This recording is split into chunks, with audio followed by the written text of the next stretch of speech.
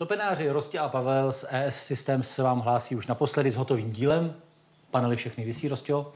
Hotovo? Není hotovo. Co dál? Musíš ještě vyleštit, aby ten panel nebyl zamatlaný, protože No je fakt, že jsme to trošku opatlali, viď? To je fakt.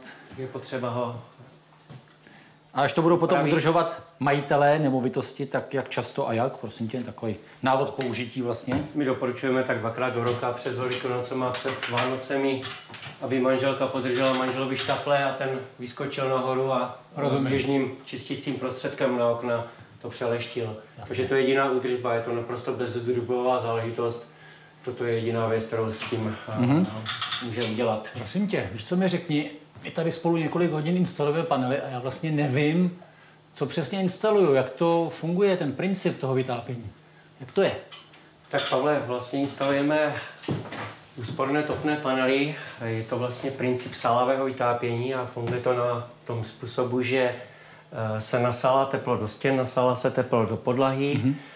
které vlastně potom eh, zpětně ohřívá vzduch v té místnosti. V té místnosti je potom ta teplota eh, rovnoměrně rozlo- rozložená.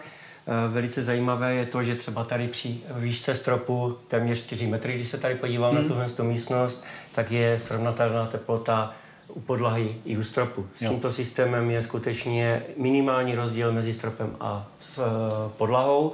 Když bychom se podívali na jiné topné systémy, které, které pracují vlastně s ohřevem vzduchu, tak eh, tam se ty teploty dostávají do několika třeba desítek stupňů rozdílu proti podlaze. Jo. Takže my nejsme omezení v podstatě výškou té místnosti, můžeme to věšet na jakýkoliv uh, strop, na jakoukoliv výšku. A co se týká potom vlastně toho mm, pobytu v této místnosti, tak je to zdravé prostředí, protože tento systém nevíří prach, tím, že nevysušuje ten vzduch, nevy, nepřesušuje ho, tak nepracuje s tím prachem, nestoupají potom částečky toho prachu nahoru Jo. a je to zdravé prostředí. Co dál ještě? No, aby jsme měli zdravé prostředí úplně ze vším všudy, tak je potřeba samozřejmě ještě zamest. No jo, jasně. Nadělali jsme tady trošku nepořádku. Hele, nemám lopatku, vezmu to jenom hopem. A máš pro mě ještě nějaký úkol? Nebo už skončíme vyloženě? Úkoly pro tebe budou asi vyčerpané, nicméně jeden úkol tady bude ještě pro mě. A toto je předávací protokol, který předám potom si věřím, majiteli to si domu věřím. samozřejmě, aby jsme uh, mu předali dílo. Tak Bezvadné kvalitě. Přesně tak. A co na závěr? Ještě něco? Jo, známku. Známku pro mě. Známku, no oznámkuju tě.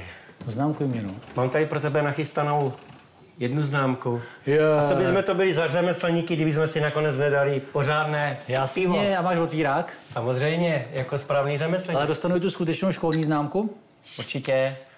Já bych tě za mě hodnotil známkou jedna, ale Já k tomu moc děkuju. bych přidal ještě hvězdičku. Prostě díky. Takže na zdraví. Dobré ráno, na zdraví.